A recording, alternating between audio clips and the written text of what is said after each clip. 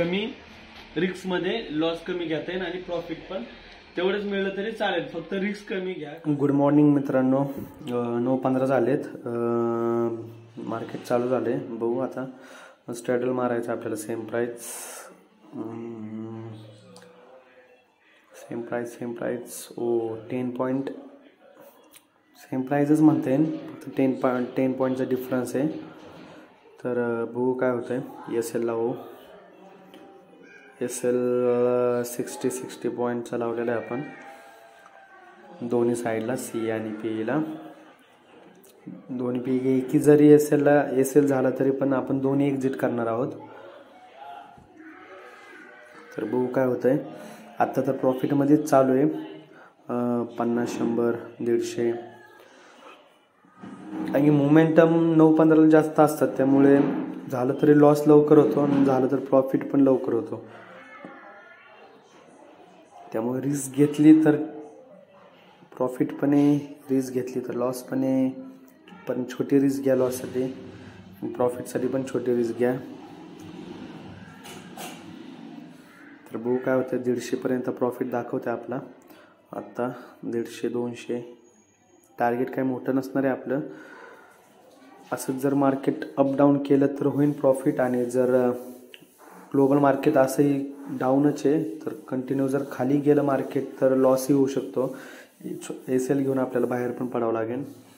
तर बघू काय होतं. आता तर प्रॉफिटमध्ये दाखवते दोनशे अडीचशे म्हणजे जवळपास आठ पॉईंटचा डिके झालेला आहे. तर बघू काय होतंय. अडीचशे एक साईड जास्त मोठी झाली ना तर दुसरी साईडकडे डिके व्हायला पॉईंटच राहत नाही शिल्लक. कारण की पुढच्या डेजसाठी पण पॉईंट लागतात प्रीमियम लागतात. त्यामुळे पॉईंटच राहत नाहीत कमी. जेवढे स्पीडने दुसरी पहिली साईड पळते तेवढ्या स्पीडने ते दुसरी साईड डिके पण होत नाही. तर त्यामुळे रिस्क पण आहे जास्त डाऊन किंवा जास्त अप जरी गेलं तरी आता दाखवते आपल्याला तीनशेपर्यंत